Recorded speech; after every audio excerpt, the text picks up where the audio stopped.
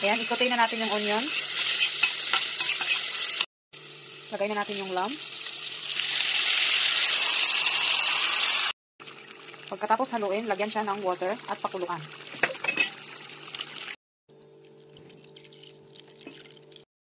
Dahon ng laurel, paminta powder, at saka asin. Ayan na guys, kumulo na siya. Malambot na to. So, hanguin na natin to siya guys. At ito na yung liquid jamid at saka fresh yogurt. Haluin lang po natin siya guys. Pagkatapos kumulo na po ito, ilagay na ulit natin yung ano lam. Ilagay natin yung kanin ng ano po, ng lam po. Hayaan lang natin siya hanggang kumulo. Ayan.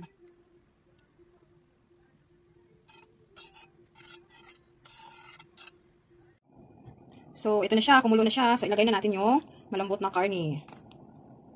Ayan. Na siya.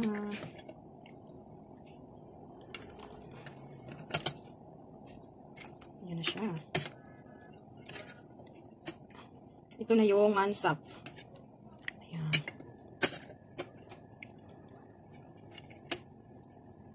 Ayan. Ayun, ang sarap-sarap na nito. Pakuluan lang din natin siya hanggang sa lumapot yun, no?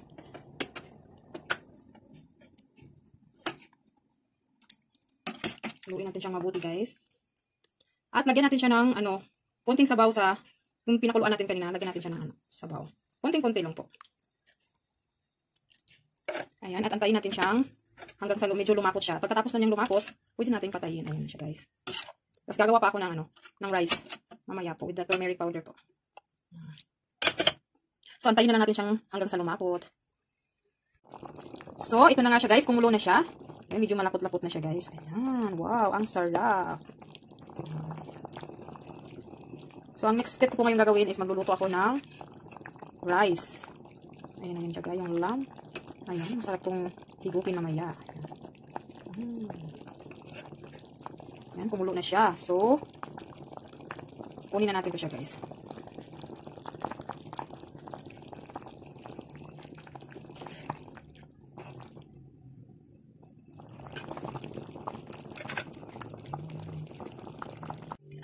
Ayan po, isote po natin yung nuts po.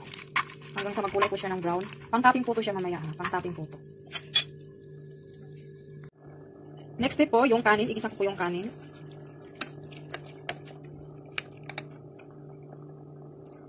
At lagyan po natin siya ng turmeric powder para magiging dilaw na po yung kulay ng kanin.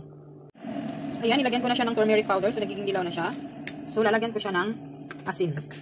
Ang palasa po.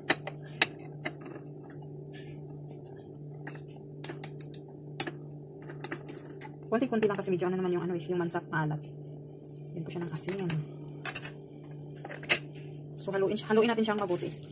At lagyan ng tubig po. Hanggang sa maluto po itong kanin.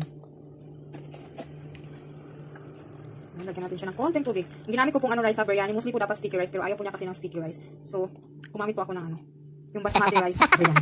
Ano, basmati rice pala, I'm sorry. Konting-konti lang po ang tubig kasi ano, madali lang po siyang maluto. Para hindi po siya ano. Ayan, antayin ko na lang po siyang maluto at ready to serve na po ang aking mansaf.